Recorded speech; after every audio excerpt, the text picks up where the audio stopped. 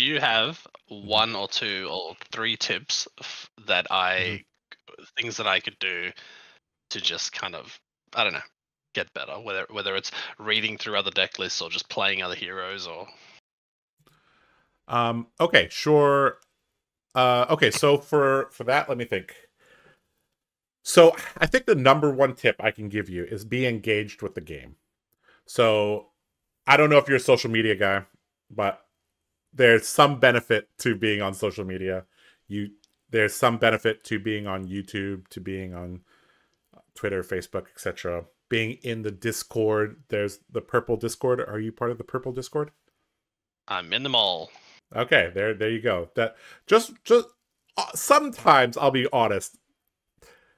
The purple Discord does have some some silliness there. But if you could join, you know, the high level competitive discords, just ask questions there. People are very very willing to give you their thoughts on things um or you can just DM me or DM like any of my teammates are, are very very friendly.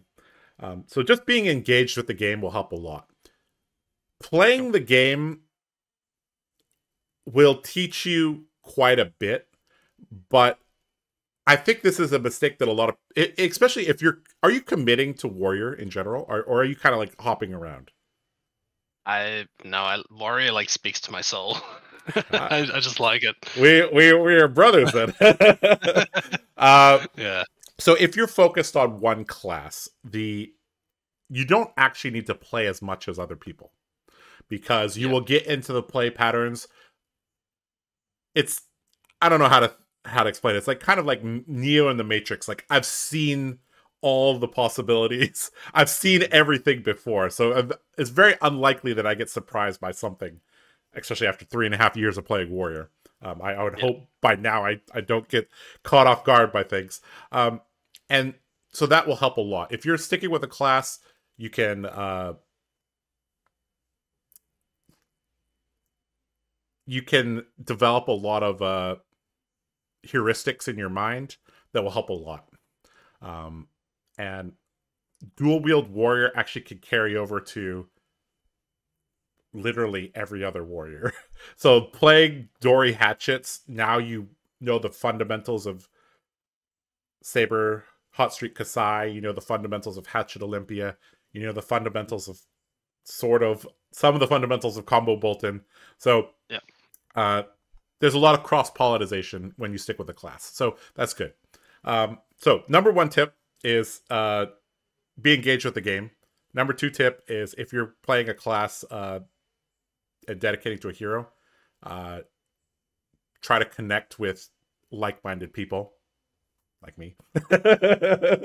uh, th- that's one of the best ways to do it. So one and tip one and two are kind of related, right? Um, tip three I would give you is I would try to watch back your games. Now,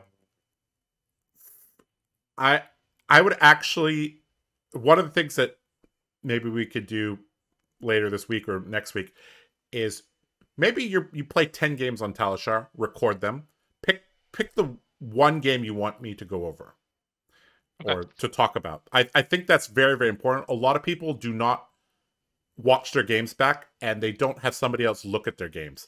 This is why every single time I play a game on camera, I watch it back.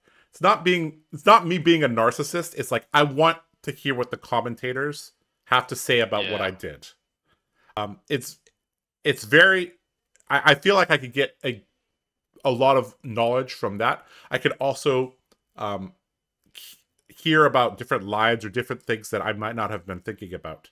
So anytime you could watch your games back, especially with somebody else, or maybe you're gonna be maybe you'll be on camera. I don't know if uh yeah, at the ProQuest if they're recording it, maybe they'll put you on camera and then you'll have somebody commentate over it. I would definitely watch that back. So um Cool. that's that's the number one thing. And that basically all this ties into is practicing with purpose.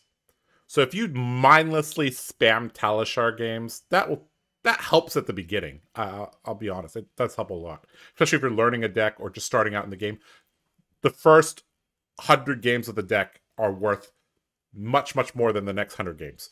Um, but uh, a lot of people don't mindfully practice, which means practicing with a purpose or reflecting on what you what you've done. So so those are my three tips. Uh yeah. Amazing. Practice with purpose, uh, you know, try to find like-minded people and uh what was the other one nice? Uh be engaged with the game, right? So so that's that would be my three tips for for you.